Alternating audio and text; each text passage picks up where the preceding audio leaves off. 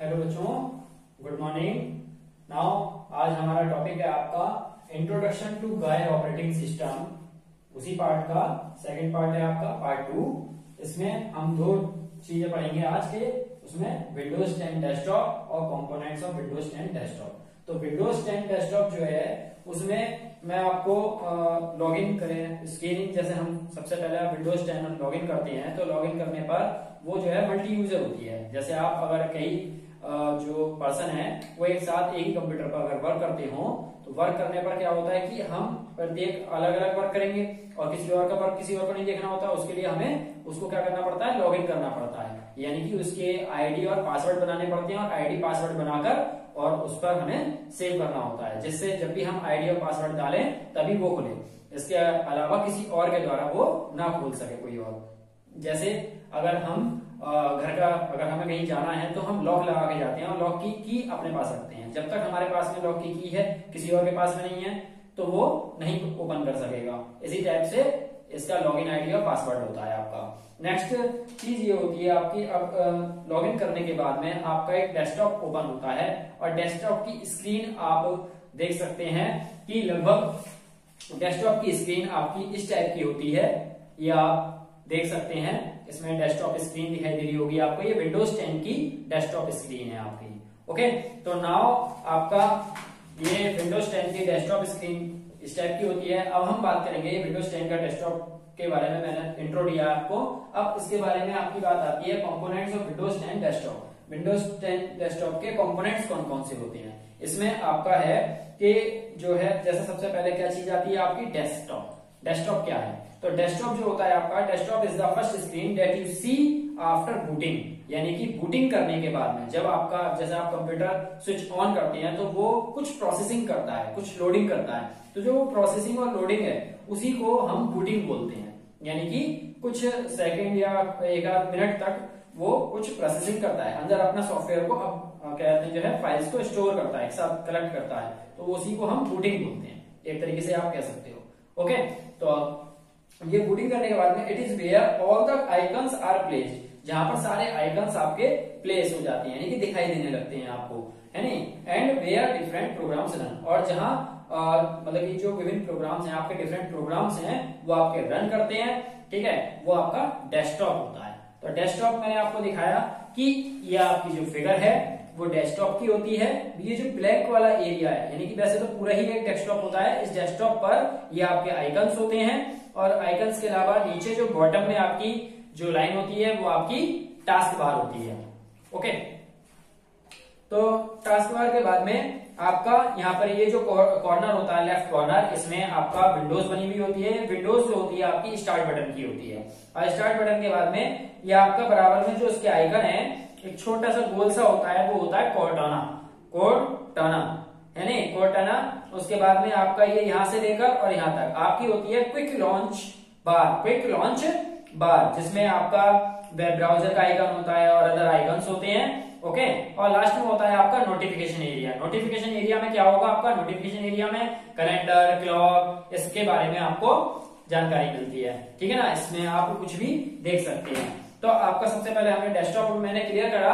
अब करते हैं आपकी आइकन्स की। आइकन्स क्या होते हैं? आइकन्स जो होते हैं, आपके icons are the little picture displayed on the desktop यानी कि एक छोटी इमेजेस होती हैं। किसी भी चीज़ की, जैसे टच पेंट की है तो टच पेंट के लिए एक इमेज है आपकी, है नी और आपका नोट पैड के लिए अलग इमेज है।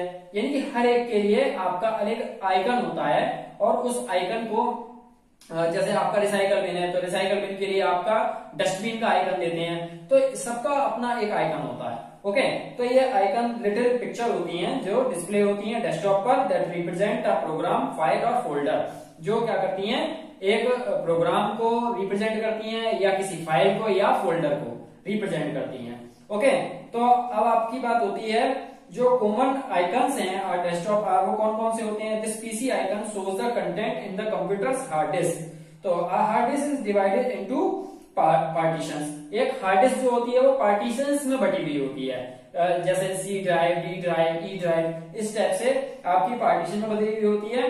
फिर it shows a different icon for a storage device like a CD और डीवीडी और अ पेन ड्राइव और ये जो है, एक बाकी जो डिफरेंट आइकन होते हैं वो किसके लिए होते हैं? बाकी ये जो पार्टीशन करने के बाद में स्टोरेज डिवाइस लाइक सीडी का वो आपको जैसे अगर स्टोर करना है कोई डाटा या सीडी से लेना है। या डीवीडी है, आपका पेन ड्राइव का यूएसबी पोर्ट होता है, ठीक है? उस टाइप से होता है आपका।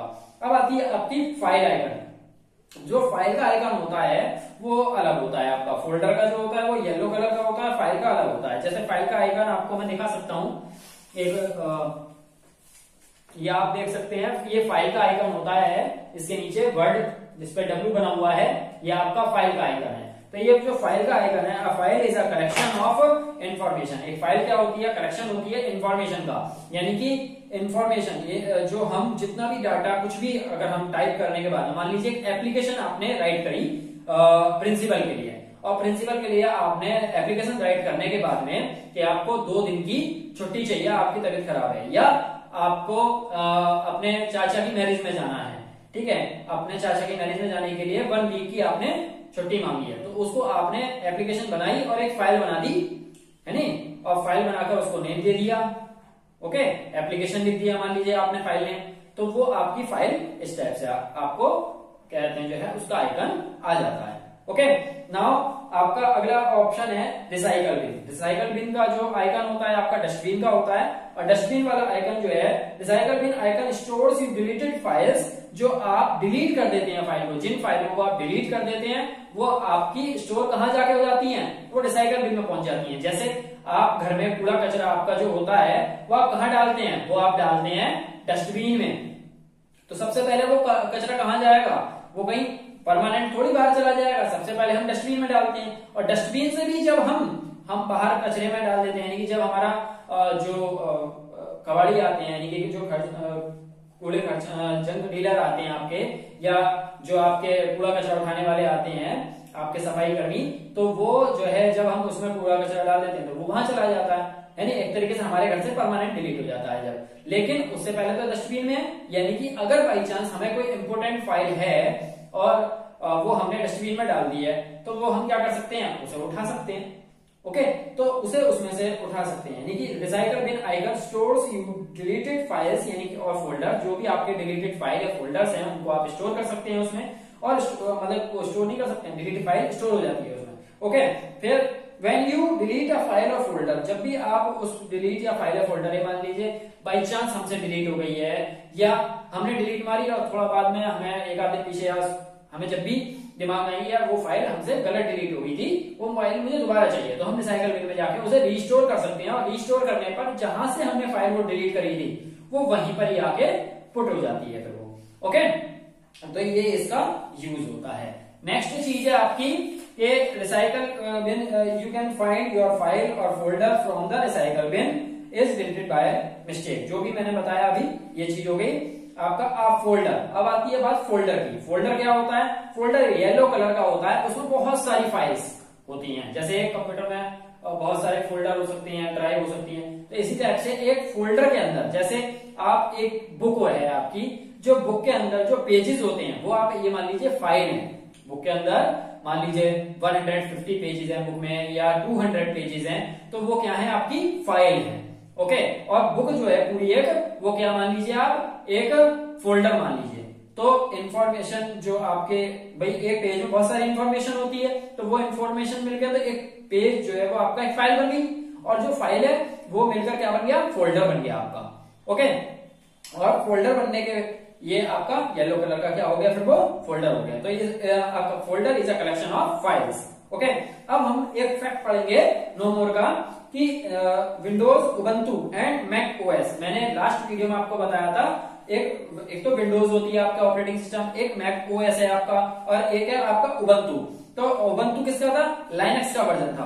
तो लाइनक्स अब जो है operating system have graphics user interface यानी कि गाय गाय के पार्ट से ये आपका in GUI operating system you click the icons to give commands instead of typing text commands यानी कि इससे पहले आपकी एक चीज़ थी इससे पहले हम जो वर्क करते थे वो काय का करते थे. सी यू आई सी यू आई हमारा जो इससे पहले हम वर्क करते थे, वो किस पे करते थे? सी यू आई कमांड जैसे एम एस डॉस यानी कि Microsoft operating disk operating system okay तो डिस्क ऑपरेटिंग सिस्टम जो डॉस था, इससे पहले एमएस डॉस चलता था।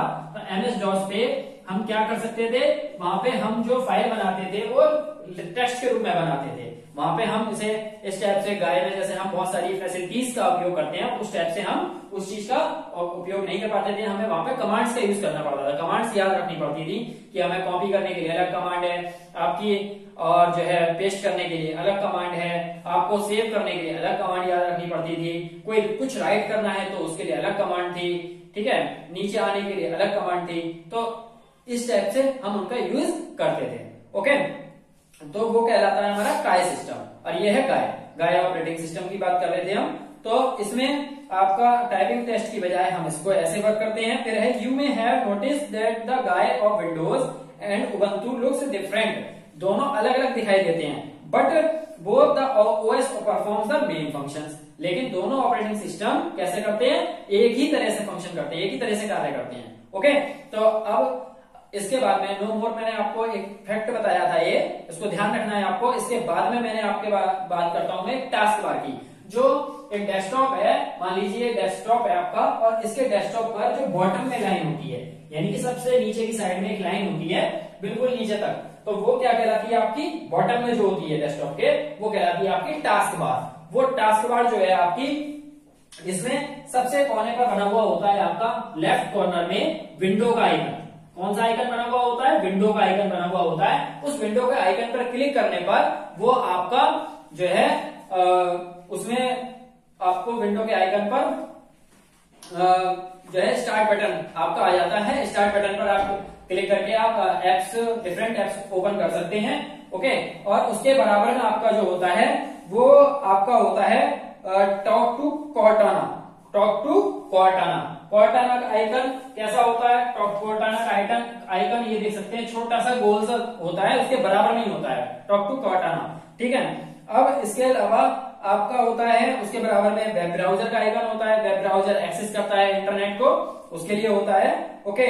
उसके बराबर में और बाकी के आइकन्स अलग अलग टाइप के होते हैं। और जो आइकन्स बाकी के यहाँ पर है, क्विक लॉन्च बार। बाकी की जो बीच की जो एरिया होता है, वो क्विक लॉन्च बार कहलाता है और उसके बाद में आपका जो है नोटिफिकेशन एरिया होता है। राइट साइड में बिल्कुल कॉर्नर में आपका जो होता है नोटिफिकेशन एरिया होता है जो मतलब कि और सबसे लास्ट में जो होता है, बिल्कुल राइट में। यहाँ पे देंगे बिल्कुल कॉर्नर में। एक आपका होता है, जैसे आपने विंडोज़ कोई खोल रखी है, यानी कि आपने कोई फ़ंक्शन खोल रखा है एमएस वर्ड खोल रखा है, आप उसे डायरेक्ट डिस्कटॉप पे आना चाहते हैं। तो बिना उसे ओपन तो क्या कर सकते हैं? लास्ट में जाएँगे और उस पर क्लिक करेंगे तो आप डायरेक्ट उस पर आ जाएँगे, जब तक आप कर्सर को दोबारा नहीं ले जाएँगे। ओके तो आपका वो डेस्कटॉप आपको डिस्प्ले करेगा। ओके ये होता है और नोटिफिकेशन एरिया में क्या होता है? नोटिफिकेशन एरिया में टाइम डेट और आपका क्लॉक वगैरह और कैलेंडर वगैरह, ये सब आपका उसमें आता है। ओके तो नाउ आपका हम स्टार्ट करते हैं बात करते हैं। सबसे पहले हमने बात करी थी टास्क बार के अंदर स्टार्ट बटन की। तो जो स्टार्ट बटन होता है आपका start button shows all the apps installed on a system जो भी जैसे आपका मोबाइल है। मोबाइल में क्या होता है कि हमारे जितने भी एप्स हैं, वो हमारी गैलरी में इधर आपके स्क्रीन पर आ जाते हैं। लेकिन यहाँ पर जो ज़्यादातर एप्स होते हैं, वो स्टार्ट बटन के अंदर यानी कि कहते हैं आपका ऑल प्रोग्राम्स और start button M S paint हुआ, आपका एमएस पावर पॉइंट हुआ, ये एम एस ऑफ़िस के हो गए पार्ट है नहीं और इसके अलावा अदर पार्ट्स भी होते हैं गेम्स का होता है, बहुत सारे जो एप्स हैं, वो जितने भी इंस्टॉल है, वो सब इसके अंदर आ जाते हैं। ओके नाउ इसके अलावा आपका all the apps appear in the alphabetical order और जितने भी एप्स होते हैं, वो आपके अल्फाबेटिकल में ऑर्डर में होते हैं। और you can scroll through these using a scroll bar on the right of the list यानी कि जो लिस्ट uh, एक जो लिस्ट बनी हुई होती है इस टाइप से एक आपकी लिस्ट बन के आती है और इसमें साइड में स्क्रॉल बार से हम ऊपर नीचे उसको कर सकते हैं। यहाँ से स्क्रॉल बार का लिए ऑप्शन हो जाता है वो आपको कर सकते हैं। ठीक है? ओके तो नाउ आपका उसके बाद में आता है कॉटाना कॉटाना क्या होता है? Cortana is present next to start button start button से अगला जो होता है वो कॉर्टाना होता है। कॉर्टाना क्या होता है? It is a digital assistant ये क्या है? डिजिटल असिस्टेंट है, जिससे हम मतलब कि जो है, एक तरीके से जैसे हमारे मोबाइल में होता है असिस्टेंट ओके जिससे हम मतलब कि डायरेक्ट कोई भी हम अगर वर्ड बोल रहे हैं तो उसका बारे में हम जानकारी ले सकते हैं। ऐसे ही यहाँ पर होता है आपका। ठीक है? डिजिटल असिस्टेंट होता है। It is use to look for files ये फाइल्स के के लिए जैसे हमें कोई फ़ाइल ढूंढनी है फोल्डर ढूंढना है डॉक्यूमेंट्स ढूंढना है। ठीक है? And other apps such as alarm वगैरह ढूंढना है तो आपको इसमें आप फाइंड कर सकते हैं। ओके अब आपकी बात आती है quick launch bar quick launch bar क्या होता है आपका? क्विक लॉन्च बार उसके बाद का, अगला जो पार्ट होता है वो सारा क्विक लॉन्च बार में आता है।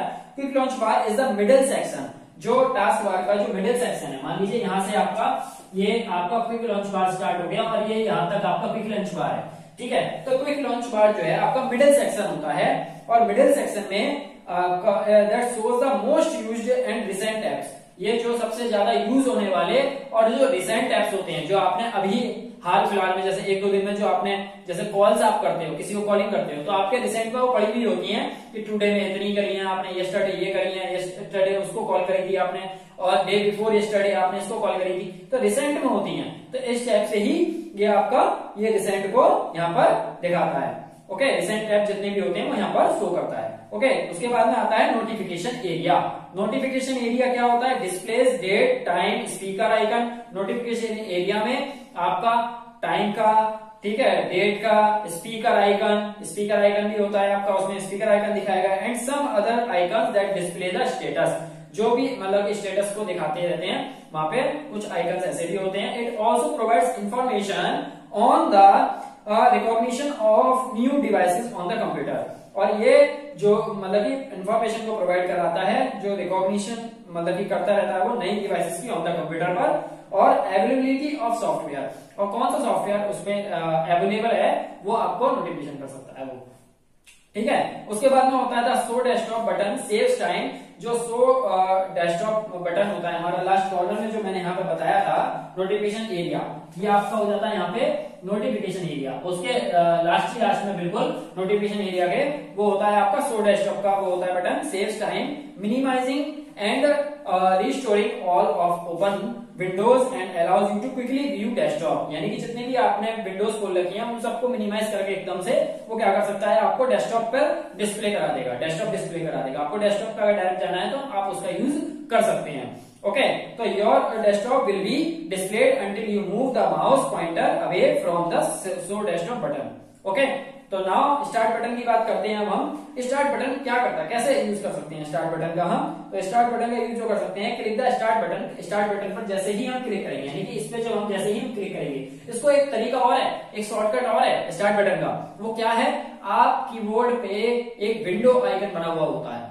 सबसे लास्ट में कीबोर्ड पर क्या होता है? विंडो आइकन बना हुआ होता है आ, लेफ़्ट में आपका तो वो आपका जो विंडो आइकन है जैसे ही आप उसे प्रेस करेंगे तो आपका स्टार्ट बटन ओपन हो जाएगा। स्टार्ट बटन से आपका जो कंटेंट्स है वो उसके अंदर के दिखाई दे जाएँगे आपको। ओके तो आपका start button click the start button you will see a list apps और प्रोग्राम्स एपियर जो भी लिस्ट है उसकी, जो भी उसमें एप्स हैं, वो आपको एपियर होने लगेंगे. ओके अब आती है बात सब मेन्यू की. सब मेन्यू क्या होता है? सब मेन्यू अगली बात होती है हमारी, मैं एक इसके अंदर का ही पार्ट है सब मेन्यू सब मेन्यू किसे बोलते हैं?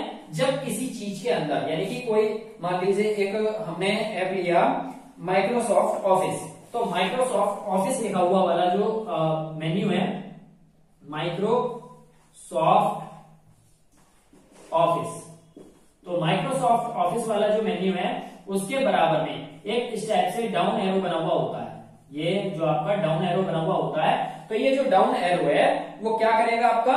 वो जिसके अंदर से और भी ऑप्शन खुल के आ जाएँगे। जैसे माइक्रोसॉफ्ट ऑफ़िस के अंदर क्या क्या खुल जा सकता है? M S PowerPoint M S Excel M S Word इस टाइप से बहुत सारे ऑप्शन खुल के आ सकते हैं। तो ये जो ऑप्शन होते हैं, जैसे जिसके अंदर डाउन एरो होता है, वो क्या कहलाते हैं? सब मेन्यू कहलाते हैं। वो सब क्या है? इसके सब मेन्यू है। ओके ये मेन्यू हो गया एक तरीके से, और वो सब मेन्यू हो गए। ओके तो ये चीज़ आपकी इंपोर्टेंट है आपकी। अब press the window key on the keyboard what did you see क्या मैंने बताया था अभी आपको? विंडो की दबाने से क्या होता है? स्टार्ट बटन ओपन हो जाता है स्टार्ट बटन ओके हो जाता है, ठीक है? यानी कि click on the start button की विंडो की दबाएँगे तो आप स्टार्ट बटन ओपन हो जाएगा आपका। फिर आती है बात आपकी, अगला ऑप्शन होता है इसमें टाइल्स टाइल्स क्या होता है? टाइल्स जब आप इसे ओपन करते हैं, जब आप इसे ओपन करते हैं तो ओपन करने पर जो एक साइड में जब ओपन करेंगे तो टाइल्स बनी हुई दिखाई देंगी टाइल्स जिसमें वेदर आता है कैलेंडर आता है ठीक है? विंडोज़ टेन की बात कर रहा हूँ मैं केवल, ठीक है? तो आपका इसमें और भी आइकन्स आते हैं तो ये अलग अलग उसमें रिप्रेजेंट करते हैं, यानी कि टाइल्स रिप्रेजेंट एप्स टाइल्स किसको रिप्रेजेंट करते हैं? एप्स को, जो इसके अंदर है। जैसे हमारे मोबाइल में क्या होता है कि मोबाइल के अंदर जब हम स्क्रीन को ऐसे स्क्रीन को इधर मूव कराते हैं, ऐसे या ऐसे तो लेफ़्ट से राइट या राइट से लेफ़्ट में तो वो एप्स दिखाता है बहुत सारे। तो एक तरीके से उन्हें टाइल्स मान लीजिए। भाई टाइल्स कैसी होती हैं? स्क्वायर शेप में होती हैं, ऐसे आइकन्स होते हैं आपके। तो टाइल्स हो गया तो वो एप्स को रिप्रेजेंट करते हैं। They are present on the right side of the start menu start menu के वो राइट साइड में आपको अपियर होते हैं। ओके फिर these tiles are live tiles so real time information ये रियल टाइम इंफॉर्मेशन को शो कराते हैं, और आपका and are not the same as icons that appear on the left side for example the weather app shows the current weather condition जो weather app उसके अंदर आपको दिखाई देगा, वो करंट वेदर कंडीशन जो भी आपकी है उस टाइम की, वो आपको दिखाए, दिखाएगा। ओके तो नेक्स्ट चीज़ आपकी आती है, इसमें अब पावर ऑप्शन तो आप स्टार्ट बटन पर क्लिक करते हैं तो स्टार्ट बटन पर क्लिक करने पर एक आपको यहाँ पर तो यहाँ पर ये आपको, ये आपकी विंडो ओपन एप्स वगैरह की आ गई। इसके बराबर में एक छोटी सी विंडो और खुल के आती है। यहाँ पर बना हुआ आता है पावर ऑप्शन तो ये पावर ऑप्शन का आइकन कैसा होता है? मैं आपको बना के दिखाता हूँ। ये इस टाइप से कुछ करके होता है, ठीक है? तो वो जो ऑप्शन होता है आइकन होता है, उसको क्या करते हैं? हम उसको क्लिक करते हैं। तो उससे हमारा कितने सारे वो आते हैं निकल के कि एक आपका आता है रीस्टार्ट करने के लिए एक आता है आपका पावर ऑफ़ करने के लिए स्लीप मोड आता है। तो ये इतने सारे ऑप्शन आते हैं आपके। तो आप रीस्टार्ट करना चाहते हैं कंप्यूटर को तो रीस्टार्ट कर सकते हैं। आप पावर मोड यानी कि शट डाउन हमें हमेशा जो कंप्यूटर को ऑफ़ करना चाहिए प्रॉपरली शट डाउन करके ऑफ़ करना चाहिए। ठीक है? कभी भी हमें डायरेक्ट स्विच ऑफ़ नहीं करना चाहिए। उससे हमारी विंडो करप्ट हो जाती है। ठीक है? तो इसलिए प्रॉपरली शट डाउन करना चाहिए। पहले हमें सारी विंडोज़ यानी कि जितनी भी हमने फाइल्स को थी उसको प्रॉपर बंद करना चाहिए क्लोज करना चाहिए, या सेव नहीं है तो सेव करके क्लोज करना चाहिए ओके उसके बाद में हमें पावर ऑफ़ करनी चाहिए। पावर ऑफ़ कैसे करते हैं? शट डाउन बटन पे जाते हैं यानी कि ये पावर ऑफ़ बटन पे जाएँगे या शट डाउन बटन भी कह सकते हैं उसे। तो आपका उस पर क्लिक करने के बाद में वो धीरे धीरे प्रोसेसिंग लेगा और वो बंद हो जाएगा। कंप्यूटर ऑफ़ हो जाएगा, फिर उसके बाद मॉनिटर की लाइट ऑफ़ करनी चाहिए, ठीक है?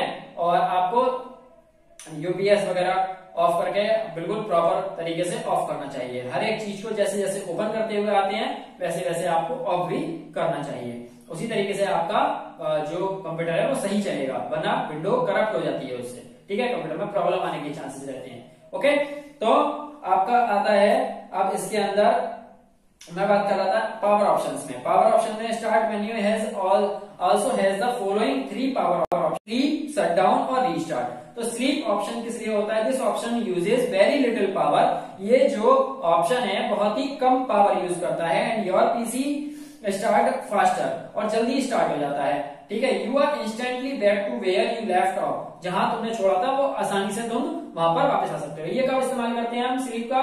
जब हम ज़्यादातर कि हमें थोड़ी देर में, जैसे खाना खाने के लिए, दस मिनट के लिए, पंद्रह मिनट के लिए चले गए तो आप स्लीप में लगा सकते हैं। जिससे आप वहीं से स्टार्ट कर सकें जहाँ आपने छोड़ा था। ठीक है? अब इसके अलावा शट डाउन शट डाउन में क्या होता है? ये प्रॉपर ऑफ़ हो जाता है। दिस ऑप्शन टर्न्स ऑफ़ और switches off your computer completely यानी पूरी तरीके से शटडाउन कर देता है उसको। ठीक है?